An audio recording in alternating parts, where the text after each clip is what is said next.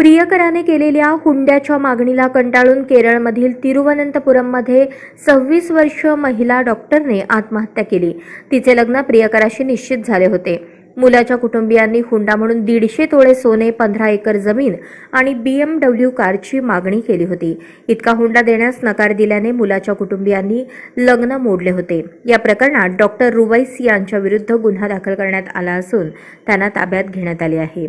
Doctor Shahana तिरुवनंतपुरमच्या शासकीय वैद्यकीय महाविद्यालयात पदव्युत्तर अभ्यासक्रम पूर्ण करत होती.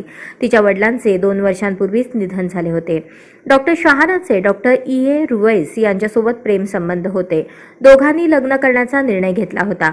शहानाचे कुटुंब पाच तोळे सोने पन्नास लाख रुपयांची मालमत्ता आणि एक कार देण्यास तयार होते. पण रुवैशच्या कुटुंबियांना हे मान्य नव्हते. इतकी मोठी मागणी मान्य करू शकत नसल्याचे सांगताच रुवैशच्या कुटुंबियांनी लग्न मोडले. यामुळे तणावात असलेल्या शहानाने तणावाखाली भुलीच्या इंजेक्शनचे जास्त डोस घेऊन आत्महत्या केली. पोलिसांना एक सुसाईड नोट सापडली आहे त्यात प्रत्येकाला फक्त पैसे हवे आहेत असे म्हटले आहे. सध्या ही घटना व्हायरल होत असून नेटकरी संतप्त प्रतिक्रिया देत आहेत. आजच स्मार्ट महाराष्ट्र न्यूज चॅनलला सबस्क्राईब करा.